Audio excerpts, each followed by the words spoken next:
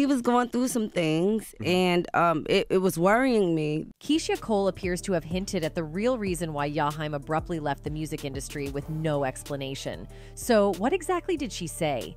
In a raw and unfiltered rant, R&B singer Keyshia Cole shed light on the harsh realities of the music industry, revealing how artists were often betrayed and exploited by those within the business.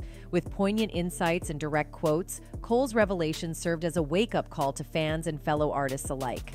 Cole, known for her soulful voice and heartfelt lyrics, didn't hold back as she delved into the darker side of the industry. In her impassioned speech, she highlighted the pervasive issue of exploitation and manipulation that artists faced, particularly when it came to their creative work. One of the key points Cole addressed was the lack of respect for artists' creative autonomy. She expressed her frustration at having her music and personal experiences used without her consent, stating, You telling them what you went through, and then they take a song that you created as an artist, and as an artist that's already established, that a little different for me. This sentiment reflected a common struggle among artists who found their stories co opted and repackaged by industry insiders for profit. Cole's words served as a reminder of the importance of respecting artists' agency and ensuring they had control over their own narratives. Moreover, Cole shed light on the emotional toll of navigating an industry that often prioritized profit over the well being of its artists. She described feeling betrayed and disheartened by those she trusted, lamenting, people really like to be mean and then and then when I wake up out of my slumber and, and start getting going getting mad and going ham this candid admission exposed the emotional vulnerability that artists endured in an environment where loyalty was often fleeting and genuine support was hard to come by. Cole's willingness to speak out about her experiences served as a rallying cry for greater transparency and accountability within the industry. In addition to exposing the industry's betrayals, Cole's rant also underscored the importance of finding one's voice and asserting oneself in the face of adversity. She recounted a period where she struggled to find her artistic footing, particularly after getting married, admitting, I really kind of lost my voice because I was going through so much. This admission of vulnerability humanized Cole and highlighted the pressures artists face to maintain a facade of happiness and success, even when they were struggling internally. In any case, it seems Keyshia's words resonate with what happened to music sensation Jaheim.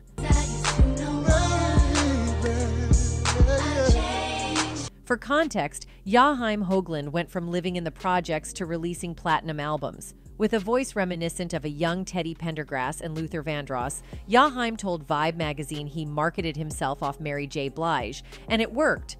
He was on his way to becoming one of the best R&B soul singers of his generation. He even snagged 3 Grammy nominations in 2010.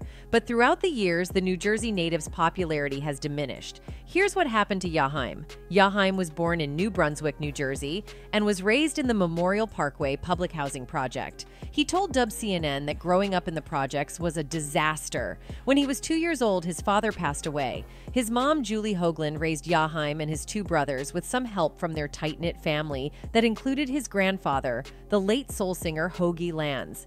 He told Dub CNN that while growing up, he got into a lot of trouble in the neighborhood by following in the footsteps of the older guys. He got locked up on a charge, and that's when he really began contemplating the direction of his life. One day, he headed to a recording studio with some of the guys from his neighborhood. Jaheim hopped into the booth and sang a rendition of Luther Vandross's Never Too Much over a club beat. Everyone loved the track, and he told Essence it encouraged him to leave the streets behind and focus on his singing. At the age of 15, he performed the Luther Vandross song A House Is Not a Home at the Apollo Theater. He was crowned the winner three times. After his riveting performance, he just knew he was on his way to becoming a star. Multiple industry execs were reaching out to him in hopes of having him signed to their label. However, none of the deals panned out, and maybe it was for the best. When he turned 16, he experienced the greatest heartbreak when his mother, Julie Hoagland, passed away. Jaheim slipped back into old habits and got locked up over and over again during a six year time period. Some people think what happened to Jaheim has a lot to do with grief. Perhaps he never truly got over the loss of his beloved mother. His life completely changed when his demo landed in the hands of DJ K. of Naughty by Nature. Jaheim was signed to K. Divine Mill Records and released his first album, Ghetto Love, in 2001. With his soulful voice paired with his baggy clothes and diamond chains, he was affectionately labeled the thug of R&B. In 2002, he released Still Ghetto, which included the platinum song Put That Woman First. Jaheim said the song was inspired by his own relationships and the relationships his mom went through. Fans were connecting with his raw lyrics and his powerful voice, and they couldn't wait for him to come back with a third album. But what happened to Jaheim behind the scenes would cause him to temporarily put his career on hold. On June 14, 2004, the R&B artist was outside of a 7-Eleven convenience store in Hillsborough Township, New Jersey, when he was approached by an officer. He was charged with having 50 grams or less of weed in his car and for resisting arrest. Jaheim was also sentenced to 90 days behind bars. The R&B singer appealed the conviction in 2005, and a judge tossed out his charges after it was discovered the officer didn't have the right to search his vehicle. He was still placed under 2 years of probation, was ordered to attend an anger management program, and was required to write an apology letter to the officer for acting out at the time of his arrest. In the end, Jaheim was just happy that the drug charge was reversed. His troubles were far from over, though. In 2005, he was driving his luxury vehicle when he was hit by a tractor trailer.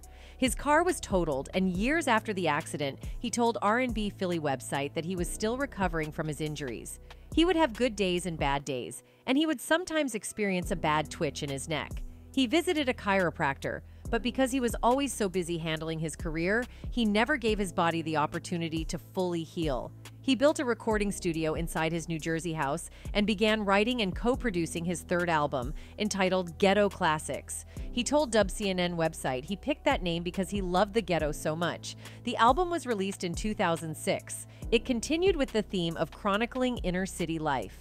It became his first number one album after it sold over 150,000 copies in its first week. In 2007, he left Divine Mill Records behind and signed with Atlantic. Under his new contract, he was asked to record the DJ Don't remix alongside Gerald Levert for Tyler Perry's film Why Did I Get Married? That same year, he released his fourth album, The Makings of a Man. His song never peaked at number 76 on the Billboard Hot 100, and it appeared that people were growing tired of Jaheim's music offerings. He told Billboard magazine in 2007 that he was going to star in a Paramount film based on a true story. As of 2019, that movie has yet to be released. Music was still his number one passion, and he told Billboard he planned on being a professional singer for at least the next 30 years. So he headed back into the studio to work on his next project. In 2010, he released the album Another Round, which included the hit song Finding My Way Back. The heartfelt track, which borrowed elements from early 70s soul music, was a fan favorite. Even though the song only reached number 95 on the Billboard Hot 100, Jaheim received three Grammy nominations. 2010 brought more issues for the singer. Just months after another round was released, he was pulled over in New Jersey for driving 65 miles per hour in a 35 miles per hour zone. Officers could smell a strong odor of marijuana from the vehicle. After Jaheim gave them consent to search, they located marijuana underneath his driver's seat. According to NewJersey.com, this incident led many to believe the artist had bigger demons he was battling. And just like that, he disappeared from the limelight again. In 2013, he reappeared with the album Appreciation Day. Jaheim told Magic 102.3 radio station that the title track Age Ain't a Factor was inspired by a lost love. Sadly, the album was a flop.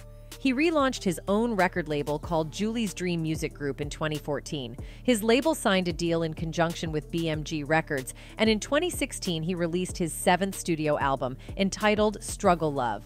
Jaheim debuted a new look which didn't go over well with the public. Charlemagne Tha God of the Breakfast Club crowned him the Donkey of the Day for his new hairstyle. Jaheim tried to defend himself with a bunch of clapbacks, but that only led to more ridicule from online users.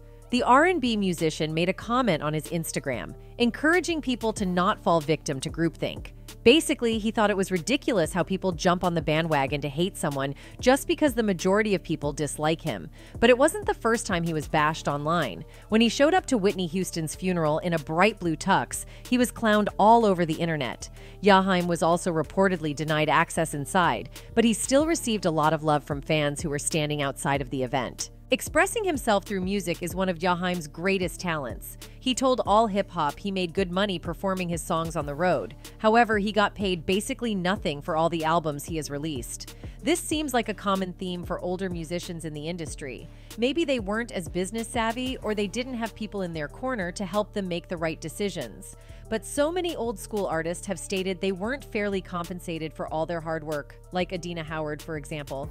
Anyway, Jaheim told Page Six in 2017 he was happy with his new position in the industry.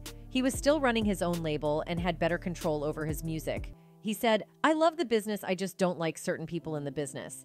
Pushing away from the industry also brought about a new lifestyle change.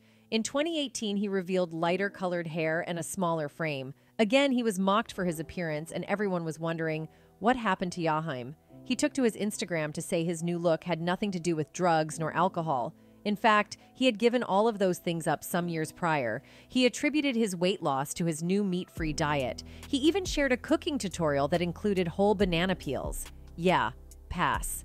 Since stepping out on the scene, Jaheim has been questioned about his S preference. During an interview with Sway at Hot 97, he began throwing equipment around when his alleged relationships with other men were brought into question.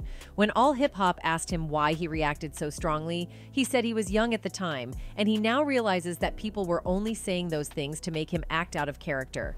Rumors about Jaheim's behavior have floated around the industry for years. Singer Syleena Johnson said she almost got into a physical altercation with him back in 2005 over a song credit, and radio host Russ Parr said when he asked Jaheim to stop talking over other people and dominating their interview, Jaheim allegedly knocked over the microphone and hit a table before storming out. It seems like all the artist wants is the respect that he deserves. He told Essence magazine, I want to be known for giving something to the game. And his fans are ready and willing to support him all the way. Sadly, what happened to Jaheim has a lot to do with the business side of the industry. In June 2019, he was reportedly a no show three nights in a row at a St. Louis music festival. With no official explanation given, concert goers were offered refunds. So, what happened to Jaheim and what is he up to these days? He was featured on Angie Stone's 2019 album Full Circle, but it remains to be seen when he will deliver another studio album of his own. In July 2019, he released a statement on his Instagram stating he won't be performing anytime soon. He wrote, I am changing a few things, then we shall meet again. With over 5 million records sold worldwide and numerous Grammy, Soul Train, and American Music Award nominations, What Happened to Jaheim breaks the hearts of many fans. He has countless songs and albums that speak for how talented he is. Anyway, that's it for this video, folks. Bye.